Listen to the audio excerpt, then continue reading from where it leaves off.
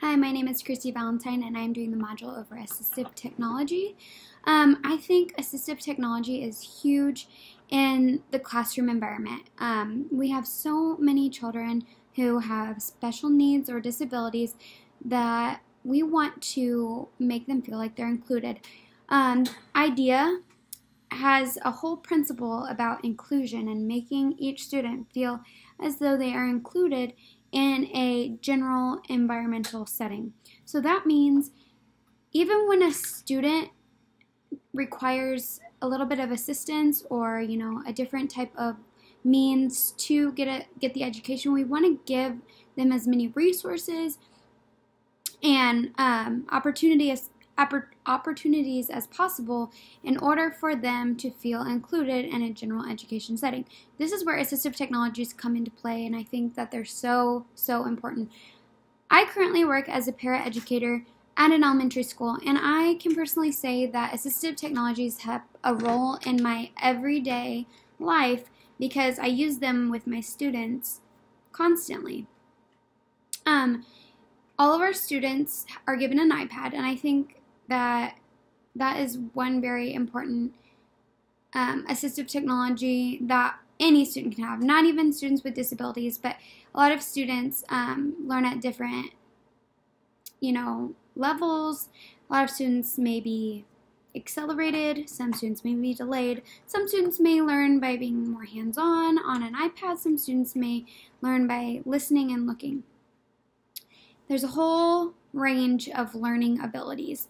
And what an iPad can do is it kind of tailors each person's instruction into a way that's best fit for them. And I think that is why assistive technologies is so important. And we want to provide it with for our students, especially those with disabilities who need a little bit of extra assistance in order for them to feel included in the general education setting. It's all about that inclusion principle. We want to include as many students as possible for as long as as it's um, as it can as they can be in a classroom and be learning. Um, so I also think the the most interesting um, what did you, what did I find most interesting or most applicable for my teaching area? Like I said, I think the iPad is something that is extremely useful for every student, especially those with disabilities, because there's so many different things that you can do through the iPad that um, can lead to differentiated instruction. So, for example, one of our students, we have increased um, the, the zoom on all the words, so we've made the words a lot bigger so that she can see them because she has a little bit of problems with, you know, vision. So we've made all of her words on her screen a lot bigger so she can see, and then we put her instruction all on her iPad so she can read it herself, and it's big enough that she can see it. So that's just one example. But there's plenty of other examples that are kind of given within this module that, um, you know, there's different sites you can go on that have um, resources available and kind of give you an idea of how teachers can come up with lessons for these students through an assistive technology. Um, there is um, through the simplicity It has so many tools and worksheets and exercise sheets, and it kind of gives all those resources that we're talking about, and they're online, so even students who are using iPads can access that themselves. Um, kind of just have a way to not be totally um, dependent on an adult or you know we want to we want to influence that independence in each student and i think assistive technologies really bring about an independence in each and every student because it gives them an easier way to access instruction and um, it produces more productivity with these students because it makes it easier for them to learn. They don't get as frustrated. Um, it enhances their knowledge and their um, academic achievement because again, it it gives them a way to learn that they might have not ever had before. There was a technology that could assist them in this way. Um, so there's six different um, applications of assistive technologies, and those are existence, communication, positioning, mobility, physical education, and environmental interaction. So it's asking us to kind of choose three of them that we think are, you know, the most interesting or that might be useful in our everyday um, work. I think one of the very most important is just the existence of the assistive technologies working with existence. So this is like the very first step in our assistive technologies that we want to worry about. We want to worry about personal care of each student. So they even talked about in the article, this could be as simple as a spoon that is, you know, unique to a person's disability. So this could be like a spoon that might be bigger for a student's food. I know one of our students has a, um, a little bit of trouble with drinking out of the milk carton, so we always have a straw for him. Um, just anything that kind of aids with personal care and just the existence of that student. So, you know, just making sure they are stable and able to live their day to day life in a quality way those are all specific things that we want to worry about with existence. Um, next, I think positioning is really important. I know that a lot of students who have disabilities have positioning, you know, troubles and issues. And one of the main things that we want to worry about is how to correct that so they don't have future issues later on or even worsening issues as they um, develop.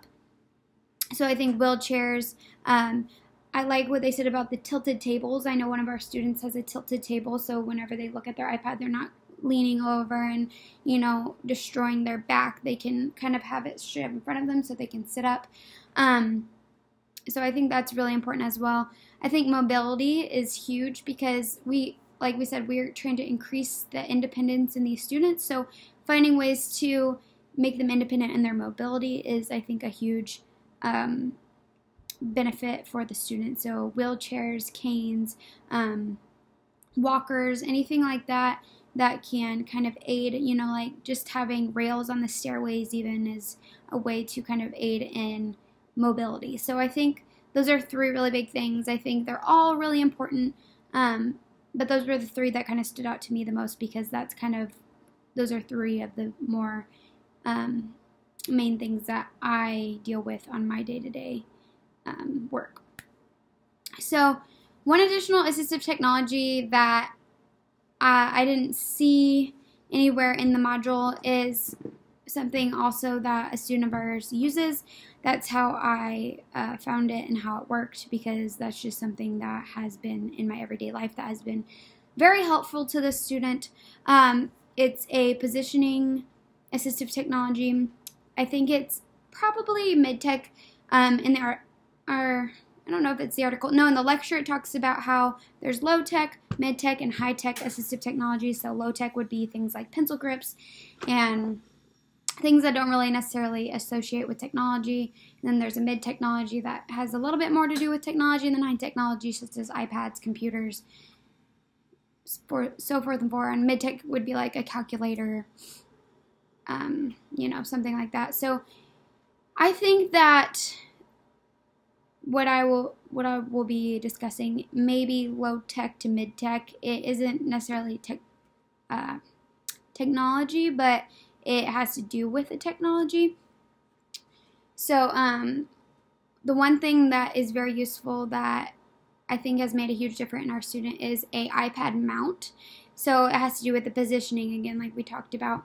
Um, so all of our students have iPads, and we had noticed a significant issue in the student leaning way forward into the iPad and uh, leaning she or leaning her leaning the chair forward and kind of just destroying the back. So I think that an iPad mount would be really beneficial for a lot of different students who have these same type of issues. Um, making sure that their iPad can be screwed onto the table and kind of adjusted to the way that is most comfortable comfortable for them to sit, but also not making their back um, crunch or, you know, be in one of those uncomfortable positions that can cause issues in the long run. Um, so yeah, I found that just because we work with that every day, and it was something I didn't really necessarily see throughout the articles and the lectures and everything. So I think all of the things that have been mentioned are super beneficial. I think assistive technology will continue to grow within our educational settings. I think that to have inclusion be you know a part of our everyday life that it's almost needed that we have things like this for our students because they're without them the students would not be able to learn in a quality way you know? Um, so i think that just having even just the simplest assistive technologies to the most advanced all the ranges i think are needed in our education. And i think the articles and the um, just everything that was listed in the module really helped to explain the benefits and why assistive technologies are increasing so much in the educational environment. All right, thank you.